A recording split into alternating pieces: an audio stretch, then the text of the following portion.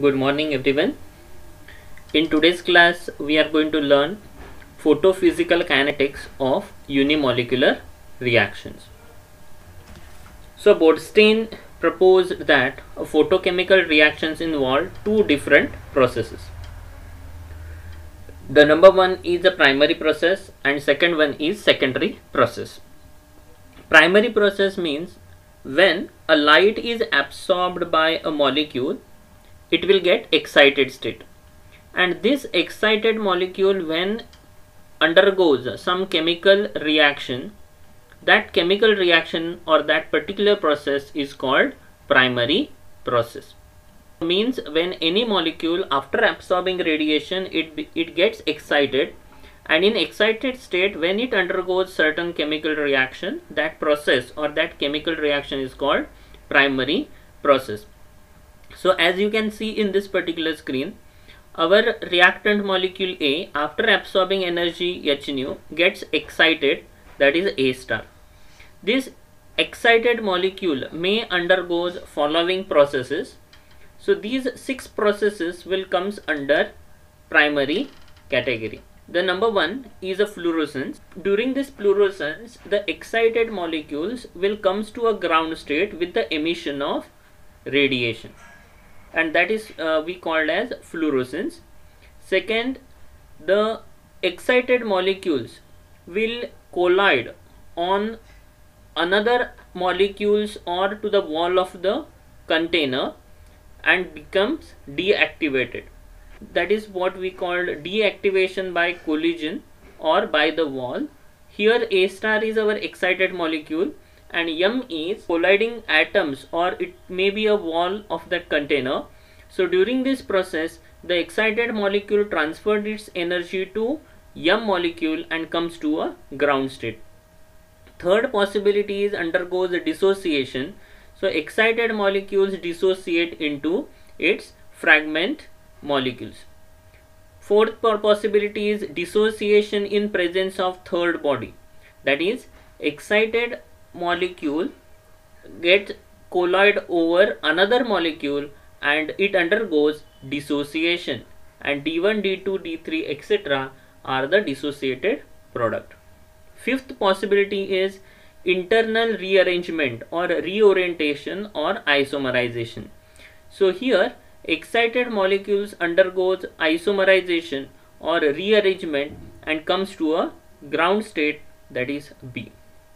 And the last possibility is reactions with another molecule where excited molecule reacts with another molecule say B undergoes certain chemical reaction and forms product D. So these are called primary process. So the quantum yield in primary process is calculated by the this particular formula that is quantum yield is the ratio of number of molecules dissociated by primary process divided by number of quanta absorbed. Maximum quantum yield of primary process is 1.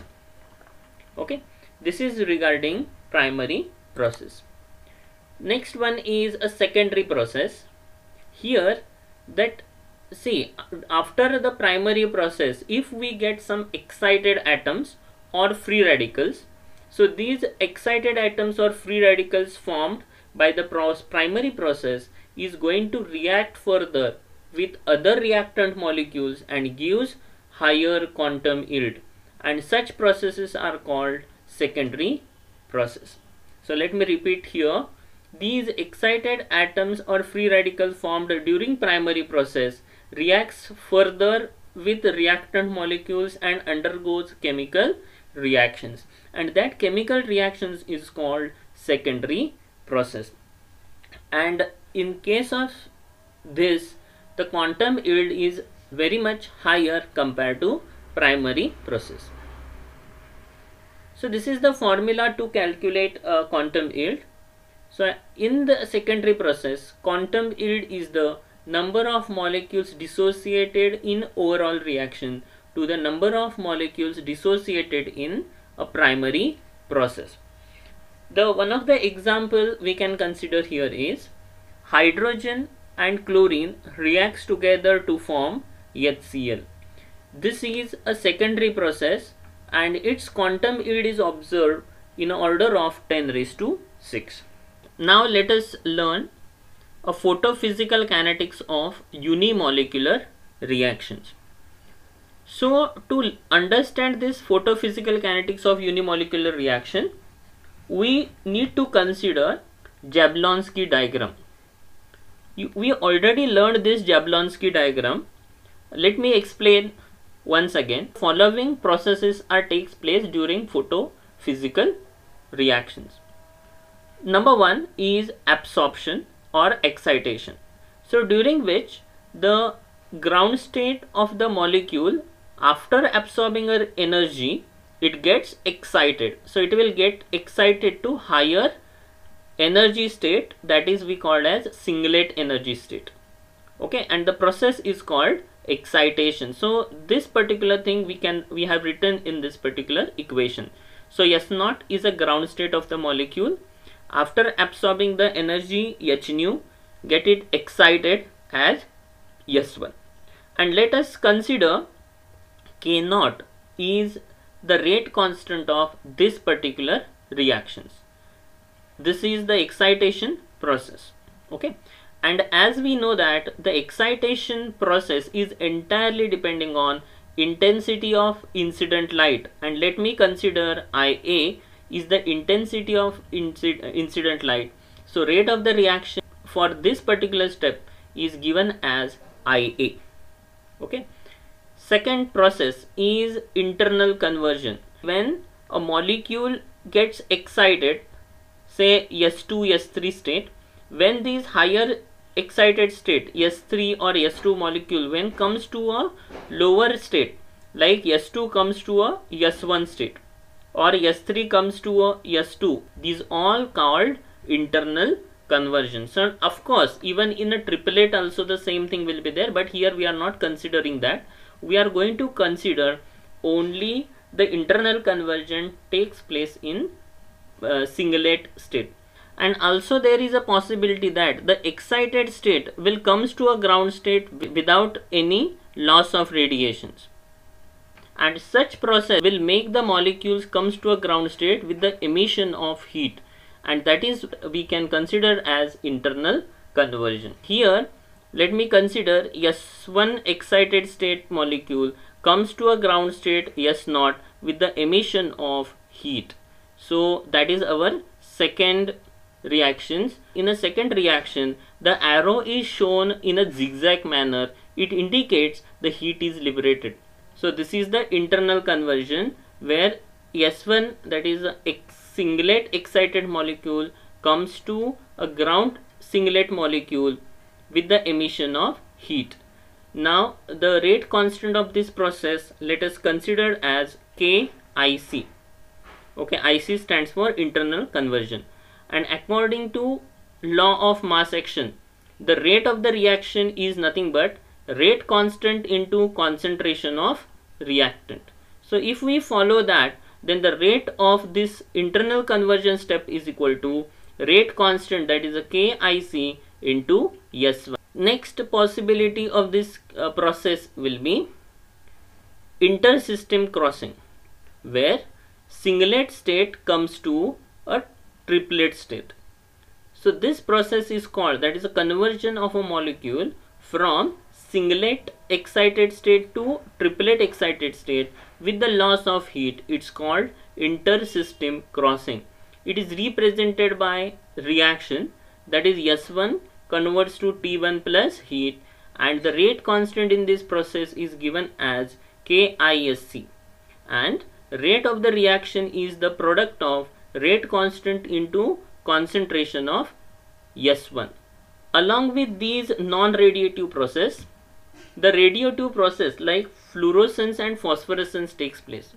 So during fluorescence, uh, the excited singlet molecule comes to a ground state with the emission of light. So let us consider here S1 molecule comes to a ground state S naught with the release of energy H nu F. Nu f is a frequency of fluorescent radiation. And in this case uh, kf indicates rate constant of fluorescent process and the rate of the reaction is equal to kf into s1 similarly during the phosphorescence the excited triplet molecule comes to a ground state with the emission of radiation.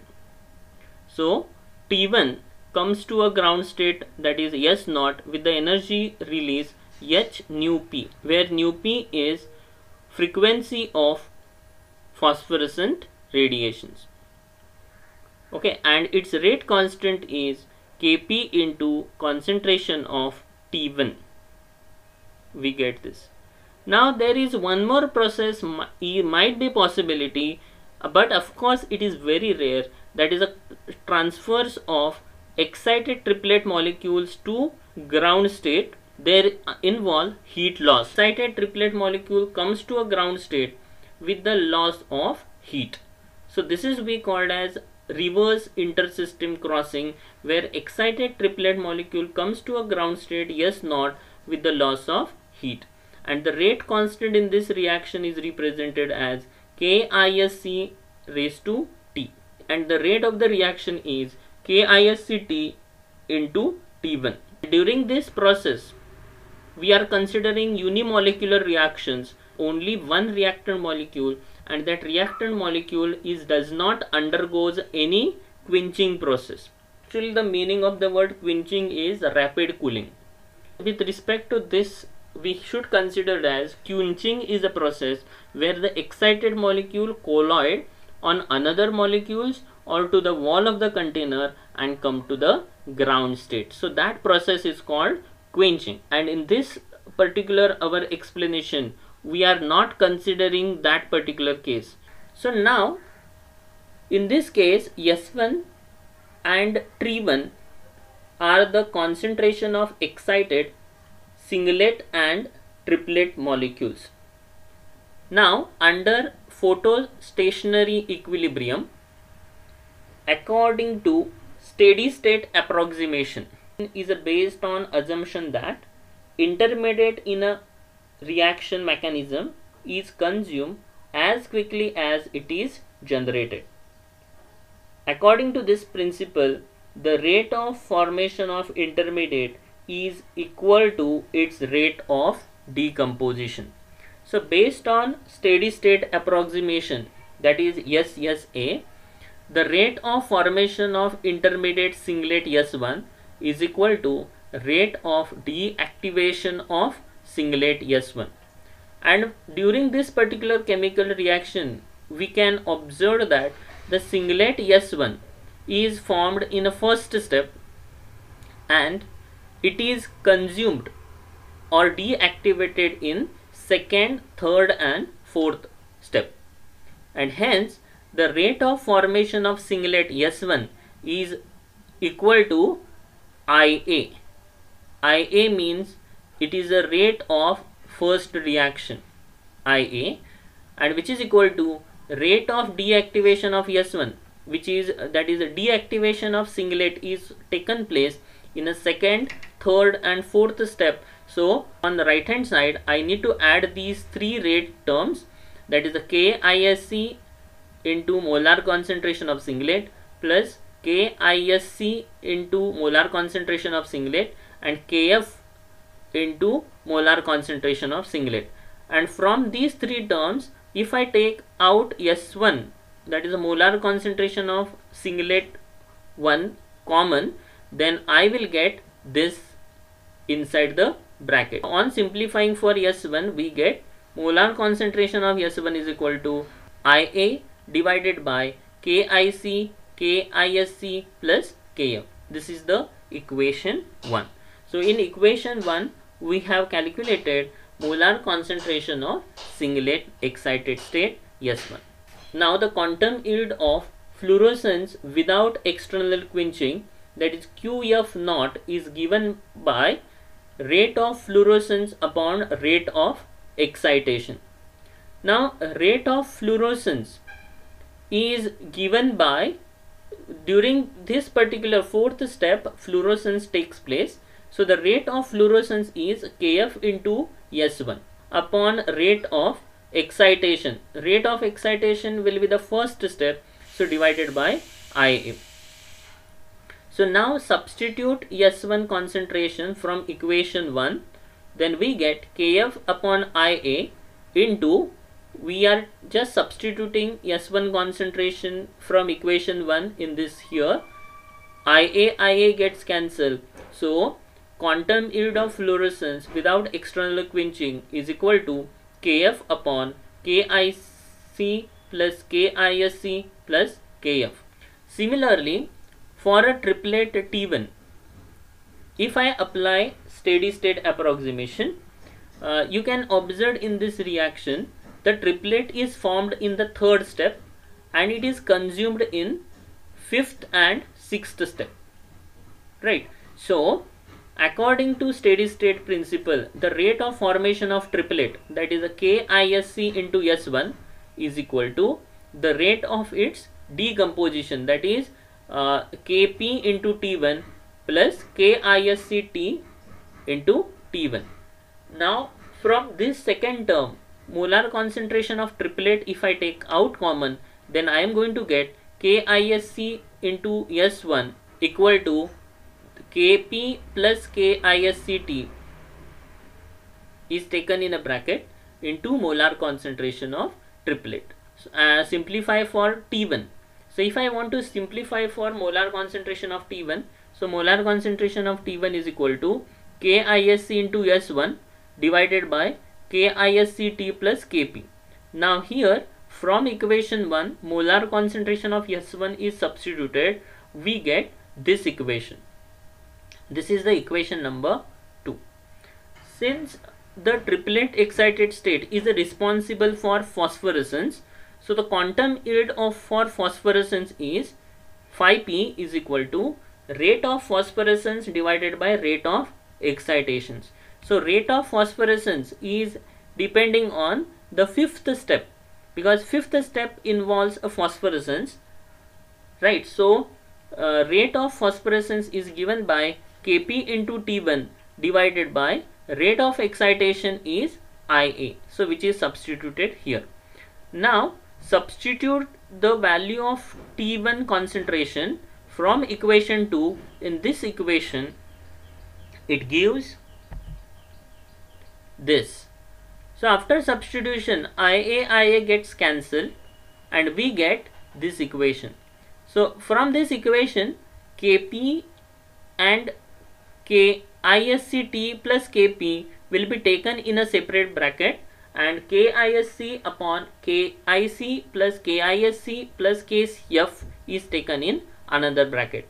And let me call this equation as equation number 3 if we observe the first term on the right hand side that is a KISC upon kic plus kisc plus kf which is nothing but quantum yield of intersystem crossing.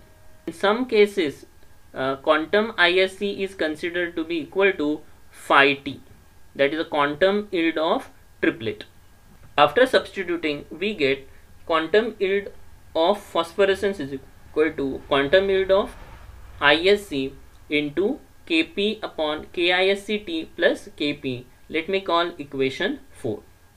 Okay.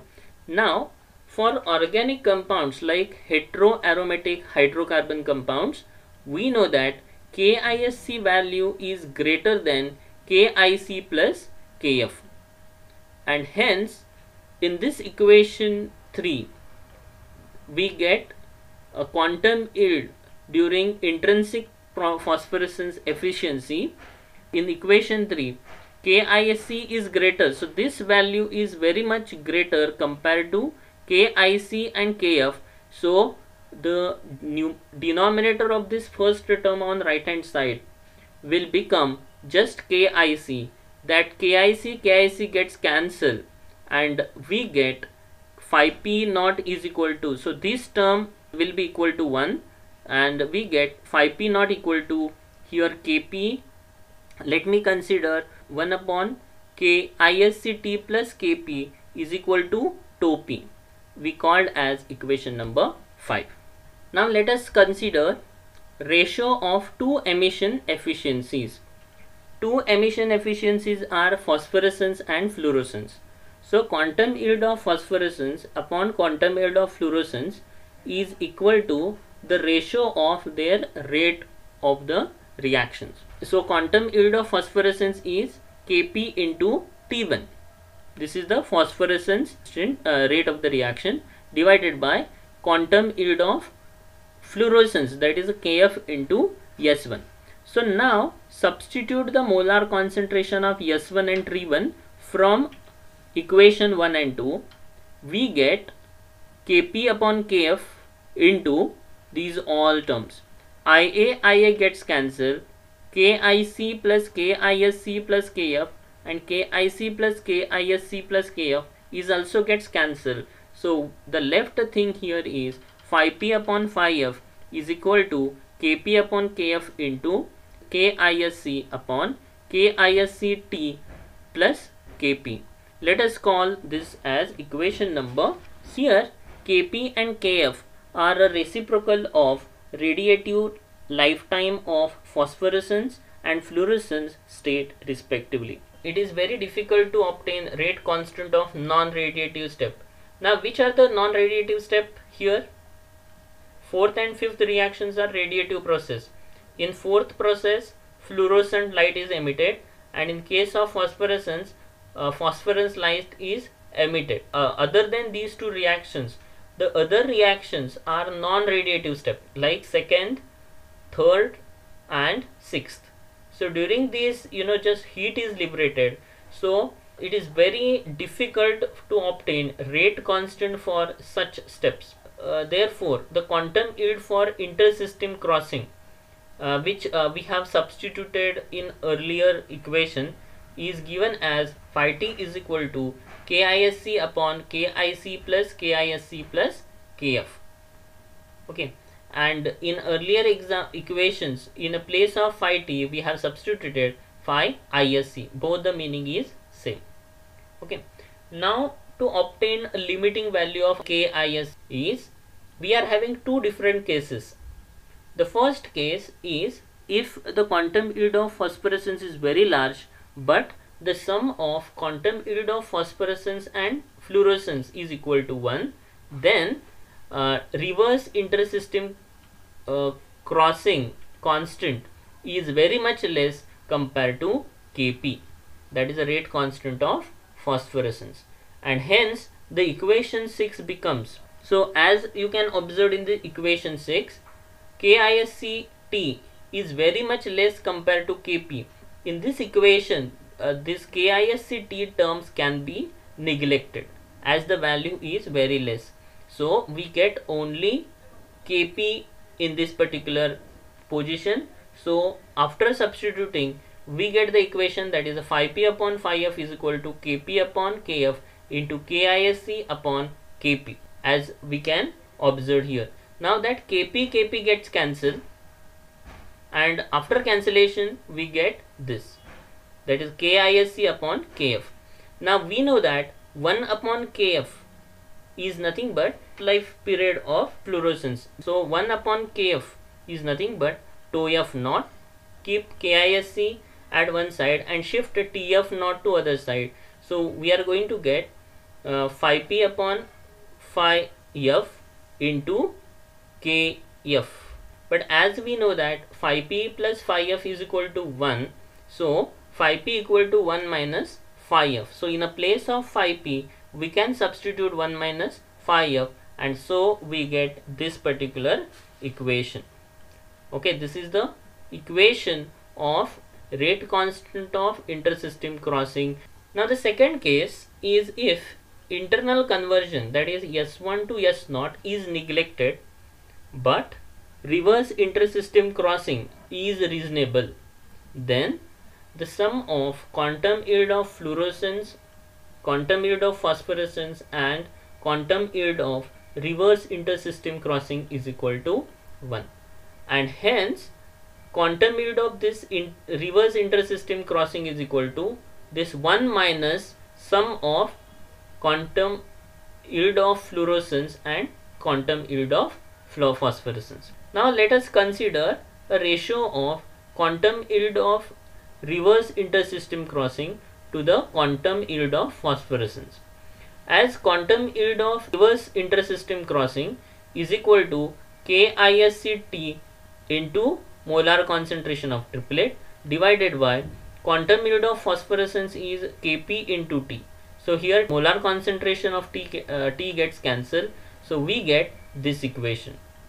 Now uh, if we simplify for rate constant of reverse intersystem crossing and shift Kp to other side then we get KISCT is equal to Kp into phi ISCT upon phi p and from this equation already we know phi ISCT is equal to 1 minus phi f plus phi p so on substituting this we get rate constant of reverse intersystem crossing is the product of Kp and 1 minus phi f plus phi p upon phi p. So that is rate constant of reverse intersystem crossing is the product of rate constant of phosphorescence decay that is Kp and a ratio of fraction that decay non-radioactivity divided by fraction that decay radiatively.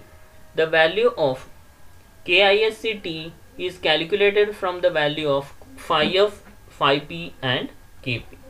These two equations will help us in calculating rate constant of intersystem crossing and rate constant of reverse intersystem crossing. Okay, then uh, let us go for a problem. So problem is very simple. Just we need to remember that equations and just substitute and simplify. So the problem is calculate radiation-less transition probability in benzene at 77 degree Celsius.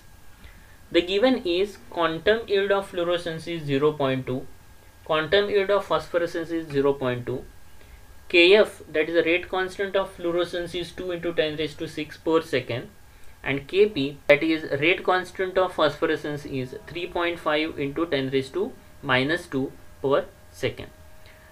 Now, as you can observe here, the units of rate constant is per second. It indicates that the process undergoes first order kinetics. Now, we know that KIS is equal to 1 minus phi f upon phi f into KF.